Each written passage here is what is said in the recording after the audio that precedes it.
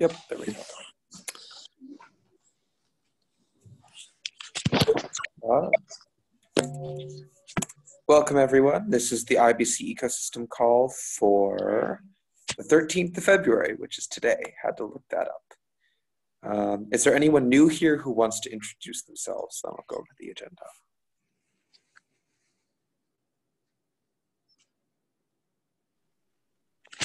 Hey guys. Hello. Hello. Hi.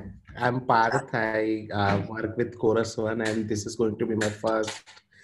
Um, this is going to be my first call here, the Cosmos IBC one.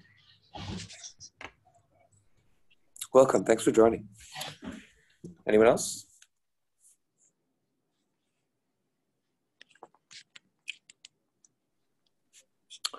Alrighty, uh, so uh, quickly, uh, the only agenda item on my plate is to give a quick update on IBC implementation status for everyone.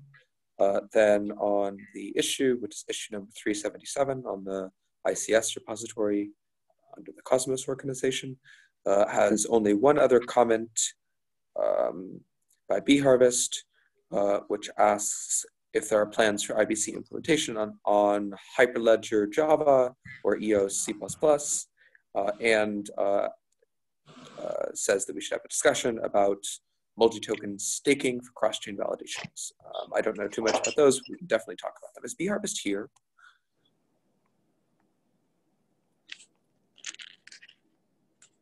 Yeah, I didn't see them. Well, uh, if they join, we can talk about those. Otherwise, I can try to answer, although I'm not totally sure what the questions are. Uh, so for, and are there any items anyone would like to add to the agenda while we're discussing it? Any discussion topics, questions? We might have extra time. Looks like this is a short agenda, so feel free to bring it up now or after.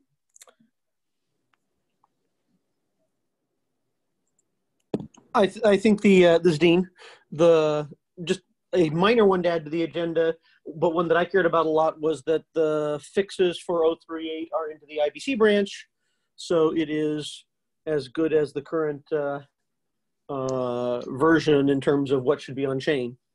So we're planning, we're integrating it into our testnet, so our testnet will be ready to play at least to some extent on Game of Zones.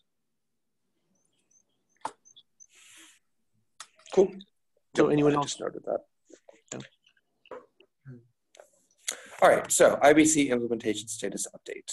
Uh, you can always find, uh, until you are told otherwise, but certainly for now, uh, the IBC implementation status at this Gaia issue 201, which is conveniently uh, titled the One True Master IBC Implementation Tracking Issue. Um, it's pretty unambiguous.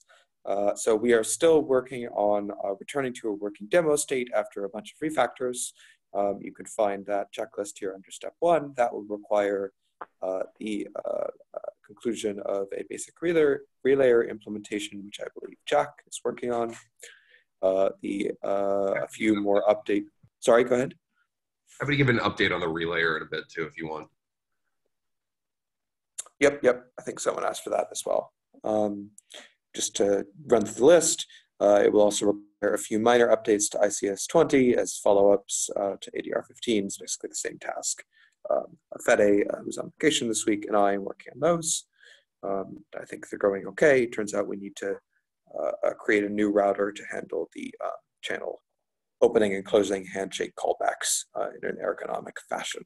So that's a little bit of work, but it's not um, not insurmountable. It also doesn't really block the demo. We could get the demo done without that, but uh, that's what I'll be working on um, alongside Fede. Uh, and Aditya has been working on some follow-ups to ICS-7, which is the uh, Tendermint client uh, standard and sub-package in the Cosmos SDK, mostly to clean up the abstraction boundary so that it's easy to add other types of clients in the future for other consensus algorithms or uh, what have you. Once those things are done, we should have a demo. Then there's some uh, follow-up tasks will, that will need to uh, be done after a working demo, but before 1.0 and before release to the Cosmos Hub, and you can find the rest of those on this issue. Any questions about that?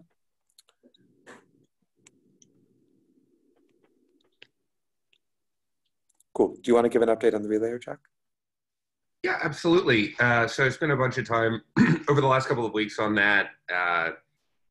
I've, if you want to go check out the latest work, I have a branch. Um, if you just check out the pull requests, um, I'll drop a link here.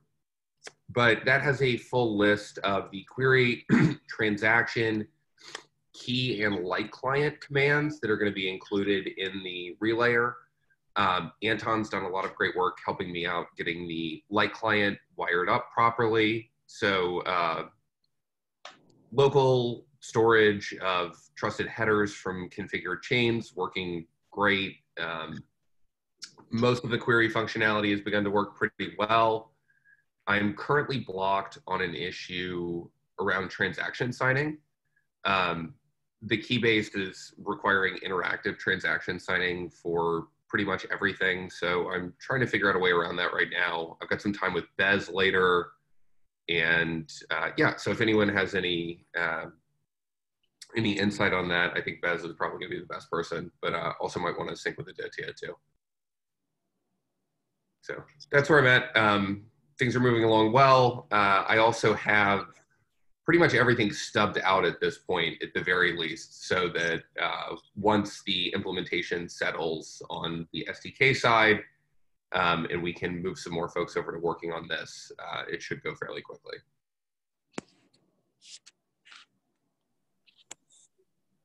Cool. Thank you, Jack. Any questions about the relayer or about the implementation in general?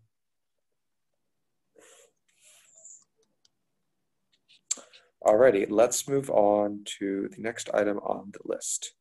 Uh, so I think this is bharvest. Are you here now?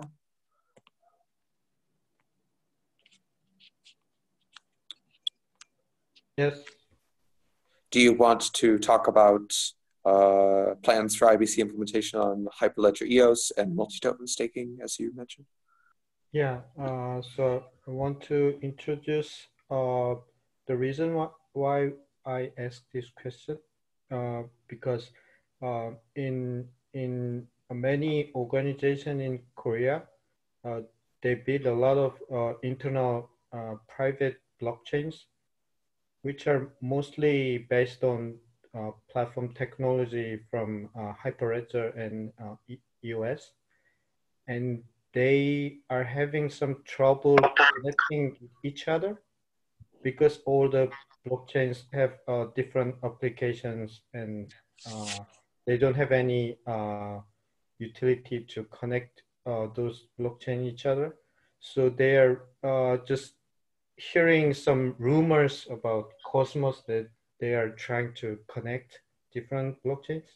So they have a lot of uh, interest in this Cosmos technology, but they don't have any information or knowledge. So, so they, but they are expecting that Cosmos might, might be enabling the connection between uh, different blockchains. So I think uh, in this situation, uh, connecting Hyperledger and EOS will be the most benefiting uh, connection in private blockchain world. So uh, that is the reason why I asked this question. Um, yeah, great question. Uh, the language has, I mean, uh, IBC can be implemented in any of these languages. That's definitely not a problem. Um, is, is Hyperledger also a consensus algorithm? Does it have pluggable consensus? I'm not super familiar. Uh, I don't think it is plug pluggable. Okay, so it has a consensus. Is it like just a private chain where a quorum signs or um, something? A Burrow is Tendermint. Yeah. So there, like I said, there isn't one Hyperledger. There are many Hyperledger projects. Um, some of them have different consensus algorithms. Um, many of them, except for Burrow, I'm not sure that any of them are like BFT consensus algorithms. Um, the uh, so all of those things are challenging. I, I, honestly think for both of these things, both uh, um, EOS and um, uh, Hyperledger, like the biggest challenges are frankly just going to be that the fact that they're not like running like actual like modern consensus algorithms. I would think that uh, that um, uh, Hyperledger at least, you know, could play the role of, or you know, could could act in the way that the the solo vat does, where it's just you know acting as a signer of transactions and such, and then running a follower. Is that Yeah. uh, not? Yeah, it could run the the sort of Oracle based approach. Um, there are some other uh, sort of Oracle based interoperability platforms that have been um, uh, that have been uh, sort of uh, in the Hyperledger ecosystem, as far as I've been aware of. So you, you always need two things for IBC, and only two things. You need a light client algorithm for your consensus, um, and you need a you know, IBC implementation of the core specifications in your state machine. So it's you know fairly straightforward to implement IBC in Java or C++. But then you would need to uh, you know choose or craft a client algorithm uh, for whatever instantiation of Hyperledger you pick or for EOS. Uh, and there may be like variations on an algorithm which have different security properties and are more or less complex to implement.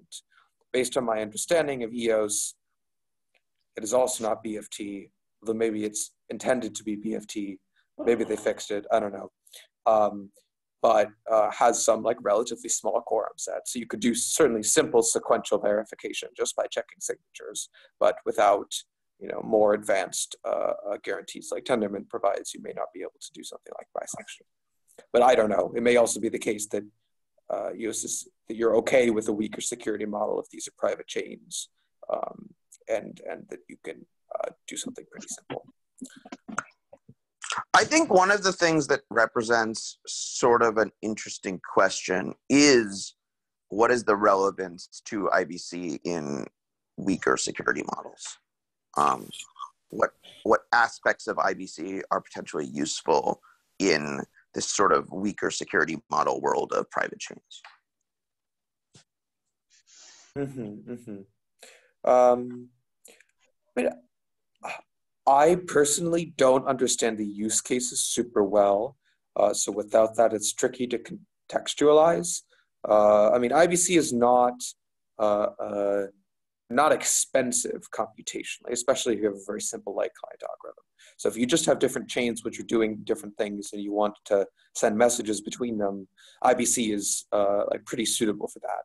Maybe the only disadvantage is that because IBC is quite general, it introduces some abstractions to handle you know, generality, which you might not need for very specific use cases. So if you want to do X between private blockchains, where X is only one very like concrete thing, like atomic swap or uh, you know uh, relay state from one chain to the other, but not bidirectionally or something like that, IBC may be overkill. It may not be worth the abstract like the cost of implementing abstractions. But if you want to do more complex things or various things, IBC is good general message passing. So maybe I'll say a couple of things. Like IBC has like a couple of sort of core components that may or may not be relevant in a private use case. So one is um, it is designed for modern consensus algorithms and to work well with them to provide extremely sort of low trust message passing. Um, the second thing is, is it's designed for this sort of like ad hoc um, interaction um, between uh, uh, uh, between systems that get introduced to each other, which is really the contributions of the Agoric folks. Um, the uh, uh, and you inher- get a lot of complexity from trying to get both of those two properties. Um, and the question for a private blockchain project um, is whether or not either of those properties are desirable.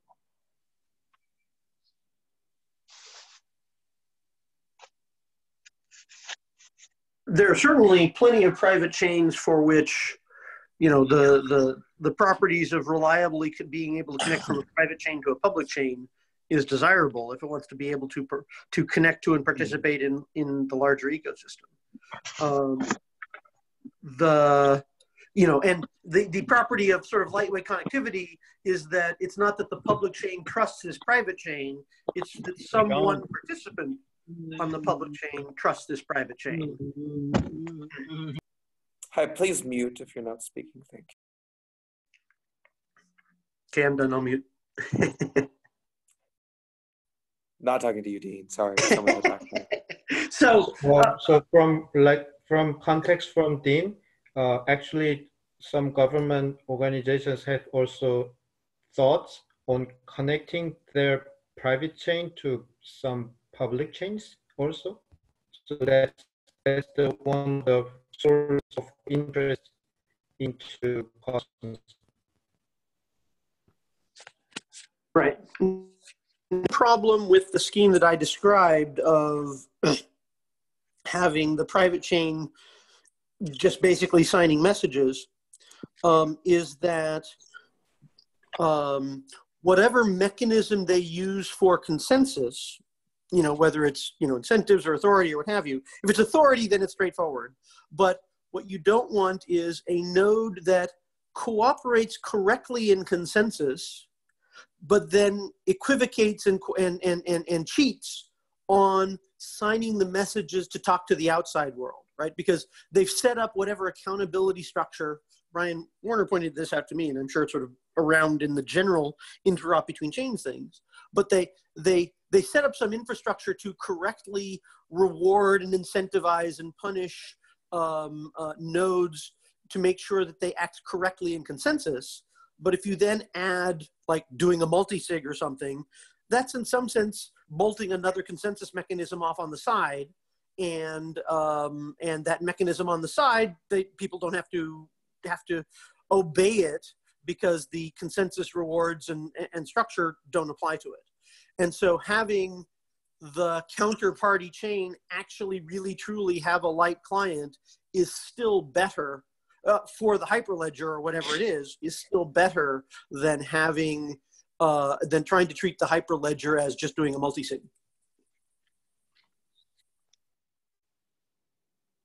And so that goes back to uh, um, Chris's comment about the question is depending on which hyperledger it is, because of course there are several different, you know, algorithms and so forth.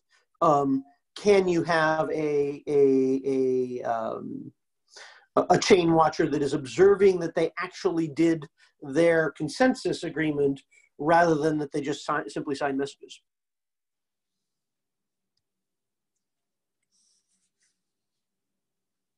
We see lots of use cases that want a private chain to talk to the, a public chain. The example you describe of a bank that is doing, you know, dollar-based accounts and now they want to be able to transmit those onto a public chain is, is, is one of the most frequent.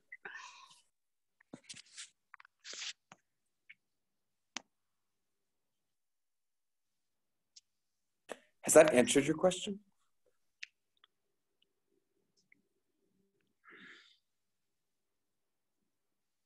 Talking mostly to bHarvest here? Yeah, yeah, yeah, mostly. Yeah, thank you. Okay. Uh, and then did you want to discuss multi-token staking? I don't know precisely what you mean, but go ahead. Okay, so um, I was imagining uh, multi-token staking in one chain uh, for example, uh, as a Cosmos Hub. So uh, besides atoms, some other tokens can be staked on Cosmos Hub, whether for validating Cosmos Hub or whether uh, to validate another chain. So um, this is the opposite um, generalization of cross-chain validation. So cross-chain validation uh, usually means uh, atoms uh, validating other chains. But this must is the opposite side. So uh, the other token can be staked on the hub, but this is this is going to validate uh, this hub or another chain. So this is the another direction of generalization of uh, cross-chain validations. So uh, one of the use case of this is that uh, there's a, a, new zone, but they don't want to um, uh, generate a new blockchain to handle all the uh, new tokens uh, ledger. So uh, the Cosmos app decide to handle all the ledger and also staking uh, utility on the hub. But this validator in the hub will validate uh, the, the zone. So this, this is the model uh, which is uh, described by June in GitHub, uh, but it is more expanded version because uh, the June only described about uh, ledger in the hub, but I expanded this to also supporting staking uh, utility for this token. so this is the initial in intention of this discussion about multi-token staking.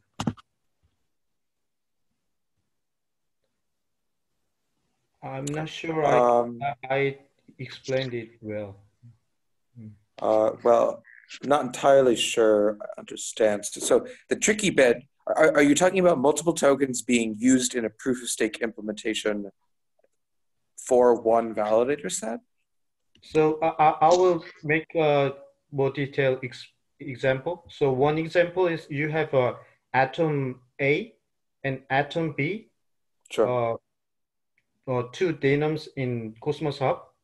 Uh, each mm -hmm. token has a 50% power in this blockchain. Each token has a different validator sets, also different holders. But this half and half power will in combine uh, validating the hub. So this is one use case of multi-token staking. And the other one is uh, maybe imagining uh, Kava. Uh, Kava has a different blockchain handling Kava's ledger and staking, but instead we we, we imagine a Kava uh, minted in in the Cosmos Hub, and the Kava will be staked also in the hub, but mm-hmm. all the transactions uh, for the Kava ecosystem will be validated in Kava zone. So the Kava zone does not have a Kava token, but all the uh, economic uh, transactions on the Kava ecosystem will be validated by Kava validator, which is staked on Cosmos Hub. Uh, yeah, yeah, yeah, sure. So yeah, the thing you need to do if you're using multiple tokens in proof of stake, regardless of whether or not IBC is involved, is pick a, a mapping function to map you know multiple denominations to some fraction of the actual validator power because ultimately you have to give the validators you know integer um, voting power. Uh, yes. only one denomination the voting power can be in. Um, but subject to that uh, this is all fine. I don't really see how it relates to ibc like you need specific uh, ibc support for for this? So uh, so this is also a cross-chain uh, application, cross-chain validation application because this second example needs uh, the, the Kava validator set information should be transferred to Kava blockchain so that uh, the validation uh, will be performed on, on that chain. So validator projection will be needed also here. Also reward distribution will be happening in the uh, Kava blockchain. So we need to bring back to the uh, Cosmos Hub to distribute these rewards to uh, the Kava staker on the hub. So this is uh, just another kind of uh, cross-chain validation. So we need different kinds of IBC applications for this. I see, sure. Yeah, you might modify the IBC packet slightly or allow them to use multiple denominations or something. Should, but but um, the bigger change is on Cosmos SDK itself because uh, the Cosmos SDK can hold only one set of validators right now. Be- But we, w- if we want to make it allow uh, having multi-token staking system in one blockchain, then our validator set structure should be in a list format. So we, we will have multiple validator set information. So that's a, a, a big structural change in Cosmos SDK too. I don't actually think so. Um, like the, the the the main complexities of introducing multi-token staking to the Cosmos hub is one is you have this function that converts the different staked amounts to like one power because ultimately Tendermint just has like a consensus power. And then there needs to be some sort of logic for slashing that like figures out in what order and to what amount you apply slashes. Is it like proportional? And like it probably is just inversely proportional to the contribution of power. Um, um, or like proportional to the contribution of power um, when you slash. Like, I don't think this is like necessarily hard from a design point of view to implement. Uh, right. Well, I think I think what Bee Harvest is mostly talking about. Also, let me know if I should say Bee Harvest or Hune, whichever, uh, Hyung, whichever you prefer. Um, is validator projection and validator projection, uh, namely storing the validator set on one blockchain and uh, sending it over IBC packets to another blockchain to control that blockchain's validator set, does require storing validator set in state. Uh, yes. uh, Um, but that shouldn't be super hard. I mean, you can't use the current mechanism. The current mechanism is intended for like the local proof of stake implementation. So you'll want to create a new module which specifically deals with this. Probably, maybe there's some possible abstraction to come. Uh, about. additional module. Ah, okay. yeah, I agree that this is a new module. Mm, okay. The other thing that's tricky with multi-token staking, or at least odd uh, economically, is that if you pick a fixed ratio between the tokens, but the ex- but the tokens themselves have like a floating exchange rate, um, then you end up with it being you know more economically uh, efficient to stake one token than the other in terms of how much validator power you get. Uh, that is Hmm. um, perhaps problematic. I mean, you could also you could measure the exchange rate if you have an oracle, like if you have uh, you know, if there's some Uniswap zone somewhere, in the Uniswap zone can provide a price oracle um, to your chain, then you can set the rate between these multi tokens according to that price oracle. But that's also risky because then your proof of stake system is kind of dependent on this price oracle being correct. So Or One a micro things to think microtick about. oracle. Right, right, but still, like you have to be very careful that the cost of corrupting the price oracle is higher than the cost of corrupting the proof of stake system, anyways. Otherwise, you've just lowered your security. Yeah, so actually the, the example one is not very practical one. So I think uh, I, I don't see any uh, good use case for that actually. But, but if you have a, uh zone uh, which is validated by its native token and also by atoms, that is very practical design. So uh, in that case, they the, the chain will have a proportion rate ratio of atoms and native token, uh, how much they have the power in total. So in that case, that parameter will be a genesis uh, a parameter to decided by governance. So uh, that is what I imagine right now.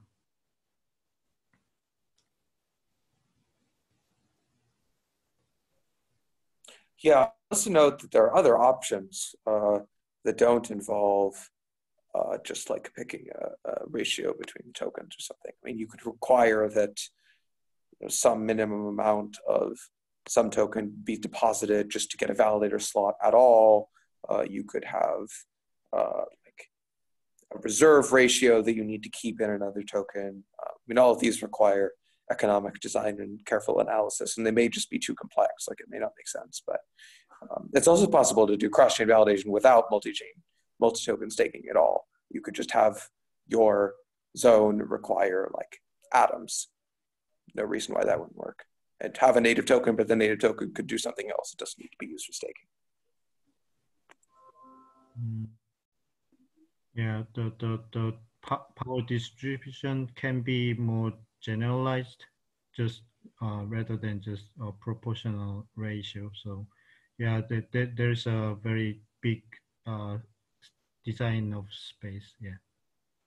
Right, right. I mean, the design space is not bounded. You know, message passing over IBC is equivalent in terms of its ability to convey any data to message passaging passing on a chain. So anything you could do in a state machine on a single chain, uh, proof of stake wise, you can also do with parts of that state machine running on other chains communicating over IBC.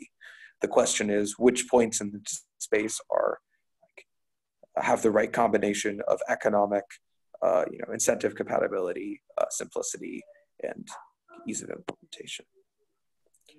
Yeah, I agree.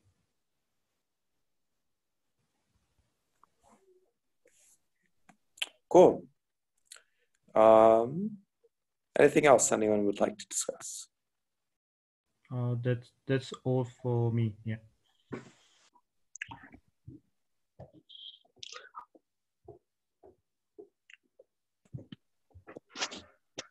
Any other uh, relayer questions? You know, this is a the more that I've kind of dug into this piece of it, it seems like it's kind of a huge design space for building relayers. Um, has anyone else? Oh, Game of Zones update. Yeah, Michelle, happy to do that. Um, but yeah, so uh, if anyone has any relayer questions, happy to kind of discuss those. Um, but as far as Game of Zones update, as Chris mentioned at the beginning with the implementation update, there's a few other items that we're working on right now, as well as the relayer. Um, we have the one true IBC master tracking issue. Once we complete the first set of those issues, Michelle, then we will have um, some surety on when Game of Zones. Uh, but right now, we're working to complete the demo and we'll be giving updates uh, regularly. And uh, please check that issue for progress. So the, the demo is dependent on the relayer? Yes, Michelle. The demo is dependent on everything in that uh, one true IBC master tracking issue. And if you see there says part one, and that's for the demo, and anything that's not checked in there needs to be completed before we have a concrete time frame. Okay, thanks. Yeah, absolutely. Um, is there a question in chat? Uh, Mara says, I would love to hear what the main choices are that lead to such a large design space for relayers. Um, well, you know, I mean, obviously the number of different chains and, sort of the idea that IBC needs to support different consensus mechanisms inherently forces you into a fairly modularized design for a relayer. Um, but once that happens, then you have to think which protocols, i.e., am I transmitting bank packets or cross-chain validation packets? Which channels am I going to set up channels between chains that I want to um, transfer across or relay across? And what, how much maintenance am I doing? How often am I submitting update clients? Fees. There's a lot of user configurable input here. And I think as someone who's thinking about the user experience of folks like yourself using this in something like Game of Zones, and, and then also during production on the main net, trying to hide some of those parameters that are maybe not as important for some use cases, i.e., if you're just simply relaying on a channel to ensure that there's a free flow of tokens between two chains, that's a relatively simple use case. If you want to start relaying across multiple chains, ensuring that chains are connected, setting up connections and channels, that suddenly becomes a much larger design space. Um, so does that make sense, Mayor? Yeah, yeah, definitely. Yeah, I mean, I would uh, uh, second all of that and add that uh, the largest point of uncertainty for me in thinking about relayers is what the economic incentives will look like. And we've talked about those a lot on these calls, um, and there are a lot of interesting options. Some of the, the I took notes, others a document in the ICS repo under uh, ideation that talks about some of the discussions we had. Uh, I think like probably we're sort of speculated out at this point, and the best thing to do next is launch IBC and see what happens, and see which experiments succeed and which experiments um, need revision, uh, and and we'll take it. Yeah, I suspect that yeah, I, th- I think you're right on that. Like, we do kind of need to get this thing live and figure out how folks use it. So there's some amount of this that's a little unavoidable. I mean, the good news is that the relayer software implementation, which uh, Jack has been uh, leading, uh, will be modular so that different relayers who want to do different things can import parts of it and reuse most of the code without hopefully too much trouble.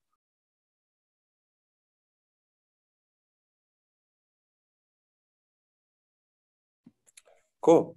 Any other discussion topics this evening? The, these relayer implementations will be in, in Go or both Go and Rust? Yeah, the initial implementation is in Go. Um, and that's just because the tool chain that we have right now is much easier to work with in Go than it is in Rust. I don't. My understanding is Informal is working on a, a, a Rust implementation of the relayer. Um, and I see commits on it fairly regularly. So it's like moving. Oh, along. where is that? I'd love to check that out. Uh, I think it's in the tender. It's like in Tendermint RS. Oh, really? Yeah. Um, I think they're mostly working on just light client stuff right now. Um, but because um, like Tony and I wrote signing and um, broadcast infrastructure for Rust in um, that like does amino and all the other nonsense. Um, like it's not. Should, there's like a whole bunch of infrastructure available for it. That's cool. I'll have to check that out. Cool. I actually didn't know that either. But uh, I mean, the the main bit you need to implement a relayer is the light client. So if you have a light client, then you also need to, the ability to query Tendermint. So it's a fair bit of glue code.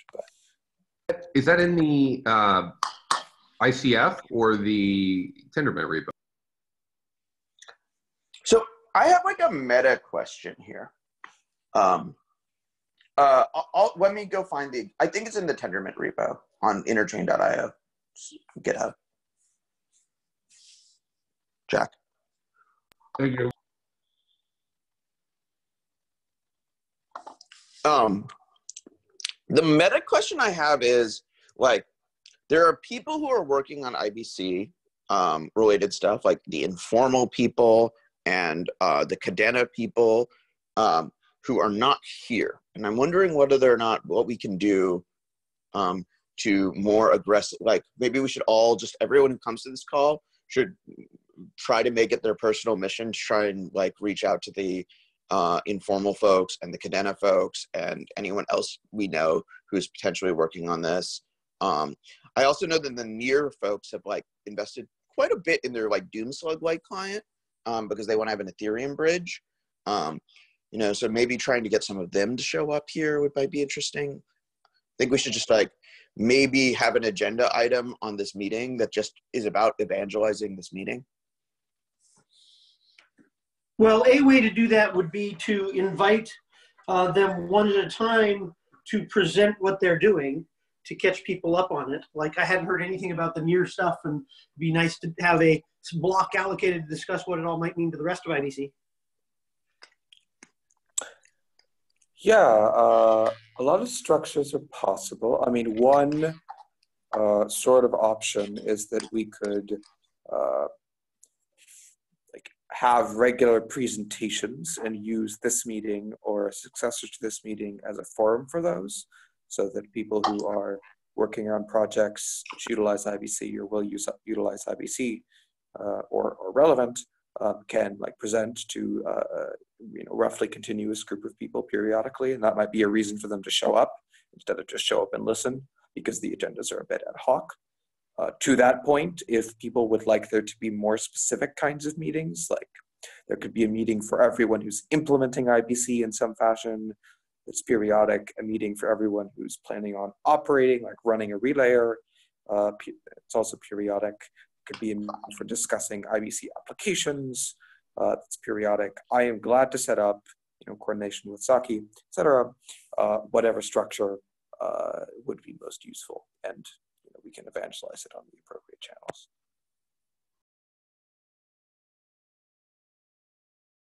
Uh, the other thing that's maybe worth noting here for everyone is that there is a Discord channel. Uh, and assuming that works for people, we will continue it uh, uh, for IBC stuff. If you want to add right. that end of where it is. There is a Cosmos uh, Discord, um, uh, which is unofficial but uh, widely used, including by um, everyone who's working on IBC. Um, and there is both an IBC channel there, which is uh, public read and write, and an IBC-core channel, which is uh, restricted write, public read.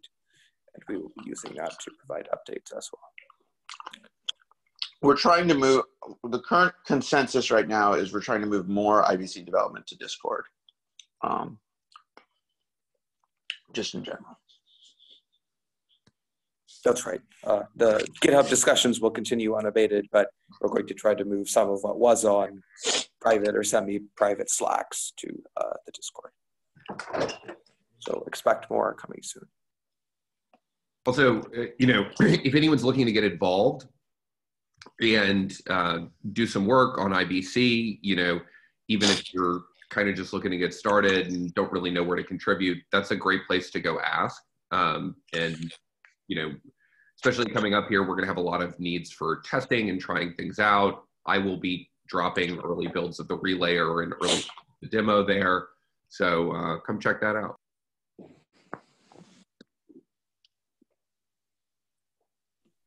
Yeah, contributions are most welcome, and hopefully switching to, to Discord will make it a little bit easier uh, because more of the day-to-day implementation, coordination, communication should be done.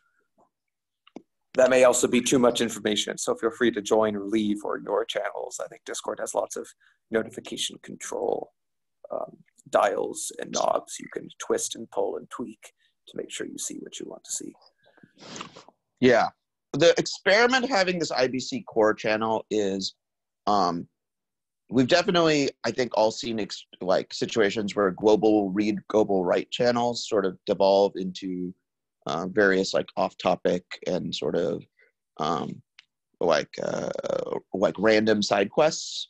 Um so the idea is like IBC is for the IBC channel is for that and then the IBC core channel is basically like people who are actively like committing code or like act, have been part of the IBC project for a while or in other sub ways active contributors can contribute there uh, and and sort of hang out there um, and uh, sort of keep it on on on the day-to-day battle of trying to ship uh, IBC now.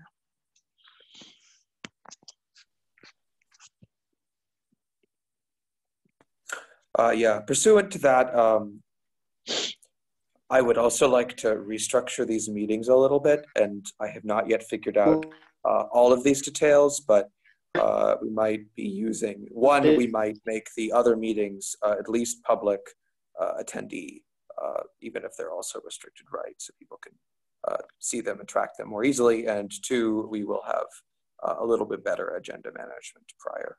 There's a nice tool called HackMD, which has live editing for uh, markdown files on the web. I was considering that.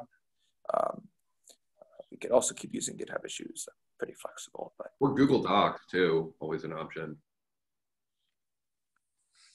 Right. I mean, the primary advantage of something that is not Google Docs is that it is easier to archive. Um, as in, we can like if we have the agenda as a markdown file, we can then commit that markdown file to GitHub straight after the meeting, and it serves as written record it's harder with docs. So this is I- possible, I suppose. do prefer Markdown, so yeah, feel you on that. Just cannot believe that Google Docs has not introduced Markdown support. It's been so long. They do Yeah. have a third-party plugin that you can install that does allow it to parse Markdown. It's kind of hacky and doesn't work great, but it exists. Yeah. I feel like the Google empire really is disintegrating. you know, slowly. Speaking Uh, of side by- quests. yeah, yeah. I mean, I cover want to the, contribute. uh, the- uh, did, did we cover the Game of Zone State? Uh, Jack um, gave, gave a quick yeah. update. It's blocked on Yeah. the demo mostly. Yeah, we're blocked on the demo at this point. There's the one true IBC tracking issue. If you would like to see progress on the demo, go check it out there. And as soon as we have some daylight on shipping that demo, i.e., we have a solid time frame, I will share it with everyone, and we will have a solid date on Game of Zones. And I'm sorry we haven't up until now. Yep. So, Uh, Okay.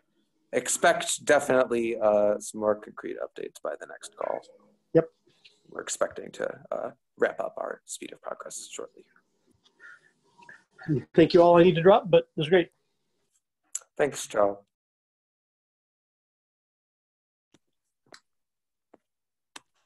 Any other questions from folks?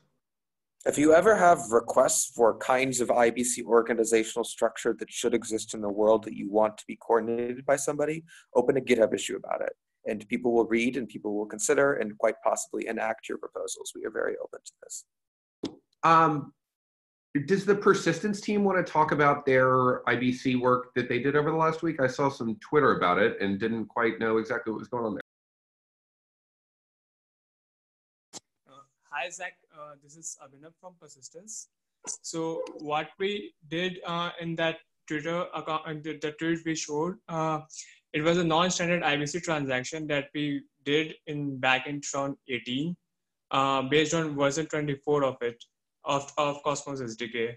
It was basically trying to do a, a NFT tr- transaction on two chains for the Comdex. So uh, yeah, so like, I want to know, like, uh, what you'd like to know about that? Yeah, I mean, This that is- sounds great. Sorry, Chris, you go for it. Oh, I was just curious. Is this based on the old demo code that you were working with? Yeah, that, that was a very old code, version 24, uh, version 24 Cosmos SDK. So right now we are like up trying to catch up with the current Cosmos SDK. IBC Alpha branch, we are keep trying to keep a close uh, track, and we are also trying to contribute uh, to the uh, IBC IBC Alpha. Um, just one quick note as to following IBC Alpha. Um, I, I am sorry, we're shipping significant breaking changes on there with no warning. Um, once we get the demo out, we should have kind of a stable release that uh, will be a little bit easier to pin on and, won't be changing quite as much.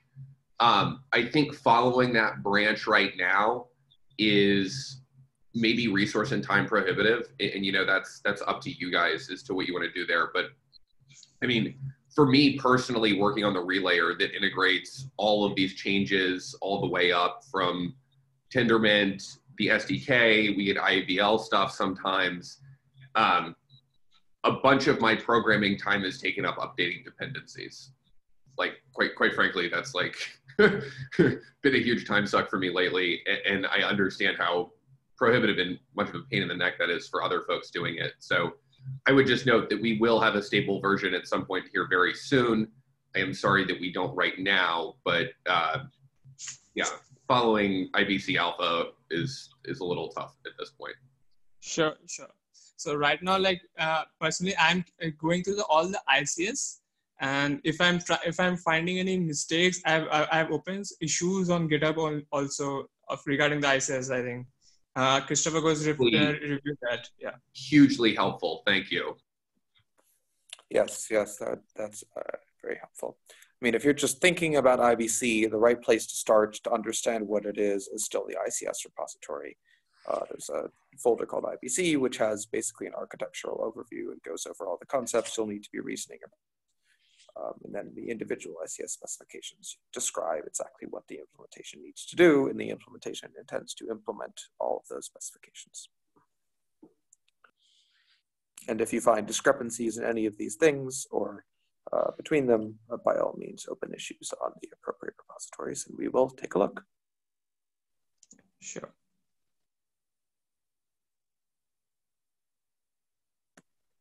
Cool. Anything else? Else we'll just end five minutes early. All right. Thanks, everyone. Enjoy the rest of your Thursday, wherever and whenever you are. see you in two weeks. Ciao. Awesome. Thank you, everyone. Talk soon. Thanks.